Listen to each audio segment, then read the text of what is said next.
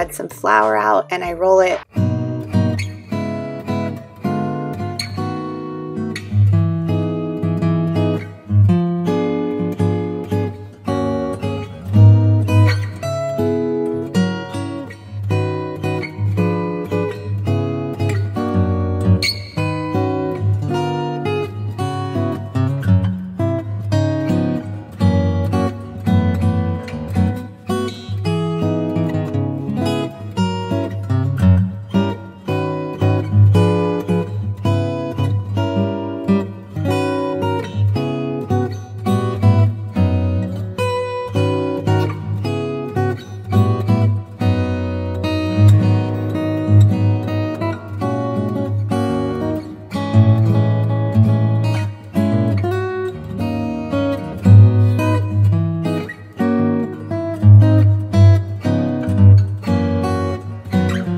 You need down in there, which I eventually did. You won't have to do this extra step of cutting off the excess, but this works fine too.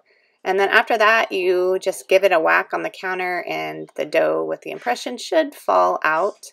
These take a little bit longer to dry, three hours, because they're so thick. I mean, of course, you could use less dough and squish it down in there and just figure out what works best for you and, and that situation.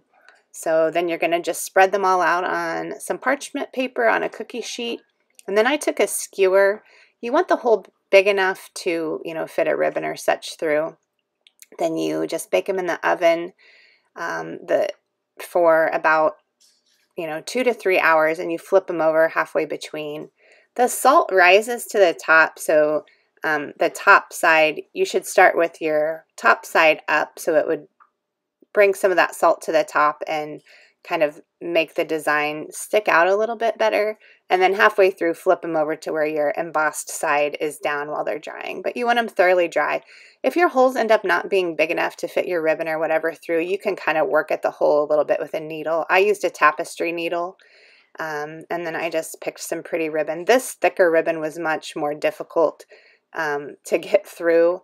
And so actually what turned out to be easier with this was just rolling the ribbon up on those thick ribbons and sticking it through. But for the thin, thinner ribbon, and a tapestry needle works really nicely. I just love the way these turned out. This was uh, the real life edition with the kids and the mess and the drinks and the food everywhere. Um, just to show you that, hey, in real life, it doesn't look quite as neat. um, but we had a lot of fun with this. The kids enjoyed it. They ended up painting theirs. They, you know, hung some of them on the tree, and it was a lot of fun, a great afternoon project. So I hope you give this a try and I hope you enjoy it.